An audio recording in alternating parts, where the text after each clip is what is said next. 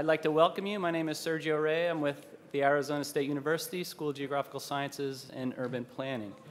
Um, Carson Farmer, who was supposed to be the chair and actually organized this session, had, could make it uh, unexpectedly, so I'm going to chair the session. Uh, we have three talks today, and I will ask the presenters to keep their remarks to about 15 minutes so we have time for questions and discussion from the floor and enough time for the um, preceding speaker to get up, or the following speakers to get up. Uh, our first talk is part of a larger project that I'm a co-author on, and that's a little bit awkward, but um, uh, this is a project developing methods for spatial distribution dynamics. Think about if any of you saw the comp stats discussion yesterday with kernel densities, you have some phenomena you're studying over time and over space, and you want to understand how the distribution evolves and what the role of space is in that context.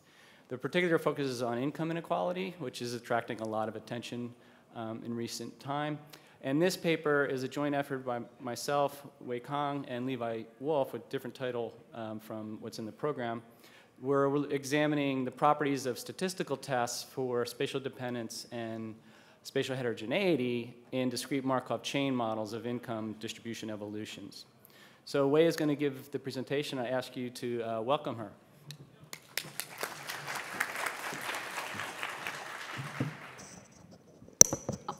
Thank you. Um, so this is our title, and let's start with some background introduction. So distribution dynamics concerns the study of both external and internal dynamics of cross-sectional distributions measured over multiple discrete time periods. External dynamics refers to the changes in the overall morphological properties of distributions, such as convergence, divergence, and polarization. Internal dynamics is the mixing and the changes in the absolute and the also the relative positions of observations measured of, um, of the distribution over time. So discrete Markov chains model was proposed to study distribution dynamics over 20 years ago and has become the dominant approach ever since. This table is extracted from a paper where Kwong uh, adopted a first-order time stationary Markov chains model to study regional income distribution dis dynamics across US states from 19 1948 to 1989. First, he used quintile cutoffs to discretize income data. Then he estimated a 5 by 5 transition probability matrix. As can be seen from the table, states in the poor race class has, have a 92% probability of staying poor. And um, states in the richest class have a 94% probability of remaining rich. But the states in the three middle classes would have more probability of moving to other classes. This approach falls short in fully addressing spatial dimensions underlying income distribution dynamics and assumes that regional theories are independent and identically distributed. However, space has already been recognized as playing an important role in international and regional economic growth. Spatial dependence can arise from different forms of spatial interactions, such as the trade, the technology, and knowledge spillovers. Spatial heterogeneity can be due to varied industrial structures across different spatial regimes.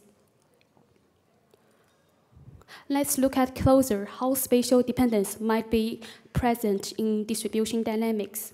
So the upper two maps showing the quintile distribution for per capita incomes in the endpoint years of 1929 and 2009 with the income densities to the um, top right. The latter shows very strong convergence. The bottom two maps show the quintile distribution for spatially permutated income data. Yet the income density the income densities are identical to the observed series. However, the observed series are highly spatially autocorrelated, as can be seen in the bottom in the bottom graph, which depicts that the global measure of spatial dependence, Moran's I, in blue line, it is statistically um, significant. While for the um, observed, while for the random series, permutative series, it is never significant. So in other words, spatial dependence, which tends to be the rule, not the exception, is not captured by the traditional methods of distribution dynamics. Several approaches have been proposed to integrate spatial effects in discrete Markov chains model. Spatial Markov was proposed by Dr. Rey to integrate spatial dependence. Rather than only one transition probability matrix, spatial Markov contains that there are several different transition probability matrices governing the distribution dynamics. In, they are conditioned on regional context, such as labels. So in spatial Markov, there is a high chance that poor economies with poor labels might have a lower chance lower probability of moving upwards compared with those with rich labels resulting in the spatial poverty traps. Spatial heterogeneity can be introduced by estimating different transition probability matrices for different spatial regimes. Before adopting this variants of discrete Markov chains model, we need a formal test to detect spatial effects. Several test frameworks have already been uh, su suggested. In our research, we concentrate on two, the likelihood ratio test and chi-square test. So uh, the null hypothesis of these tests is that there is only one transition probability, such as the Pij. Um, we can specify the alternatives by defining conditional probability, transition probability matrices accordingly is Pij conditional IL. Thus, both spatial dependence and spatial heterogeneity can be tested using either of these test frameworks. Analytically sound and elegant as these tests might appear, they suffer from several serious problems when applied to empirical research. First, asymptotic properties might not hold in small sample settings. Power and size of these tests haven't been formally evaluated. Second, the power of spatial dependence tests in the presence of spatial heterogeneity remain unknown. The same goes for spatial heterogeneity tests. So our research is intended to conduct a series of Monte Carlo simulation experiments in Python to address these questions. First, we vary sample sizes to, to address the small sample problem. Second, we integrate spatial effects to evaluate the size and power of these tests.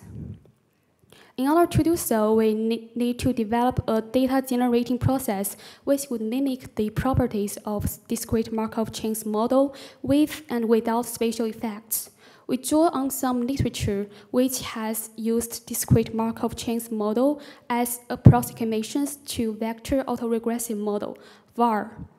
So we adopt a similar approach using a stable first-order VAR as our data generating process.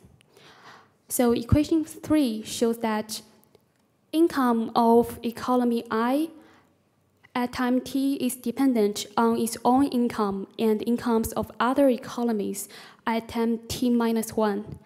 Vi is a region-specific constant term. Alpha i is a temporal lag coefficient. Rho i is a region-specific spatial autoregressive coefficient. Wij is the row normalized spatial weight expressing the spatial interaction between economy i and j. Epsilon i is the temporally non-correlated error terms for region I. Equation 4 is the vector form of equation 3. So by imposing restrictions on the temporal lag coefficient alpha, the spatial autoregressive coefficient rho, and also the process mean mu, we can simulate the law as well as the alternatives, which can be used to evaluate the size, power, and robustness of the tests. So in our simulation experiments, spatial dimensions of sample size range from 5 by 5 all the way to 13 by 13. Temporal dimension is a constant 100 at this moment. And first, we simulate the law without spatial effects to examine the size properties. The rho is set to 0, mu is set to 1, and alpha is set to 0.5 for all the economies to exclude spatial dependence and spatial heterogeneity. Spatial Markov is simulated by setting rho non-zero. We also vary the values of rho to adjust the level of spatial dependence. We examine two forms of spatial heterogeneity. For mean heterogeneity, the process means vary across different spatial regimes. There might be two, three, and four spatial regimes. Let's take a look at three spatial regimes. Process means of all the economies within spatial regime 1 is set to 0.25. For the second spatial regime, set to 1, the third, 3. We adopt a similar approach for lag heterogeneity. We split our sample into spatial regimes equally. Here are the layouts. By, by simulating um, the data generating process of the three alternatives, we also use the other tests to examine their robustness. For example, for when, when simulating spatial Markov, we adopt we apply the spatial heterogeneity test to the simulated data to see whether it would pick up the spatial dependence, the wrong effect. Let's look at some results. So start with the examination of tests under law. The figures show p-values of tests for spatial dependence and spatial heterogeneity for different sample sizes. This is the sample sizes and for different numbers of spatial regimes.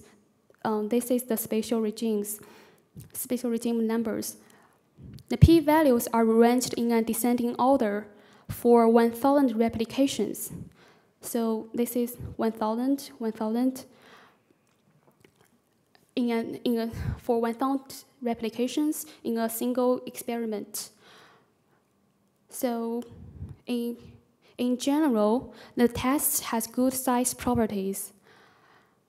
The, um, the average sizes are close to 5% level.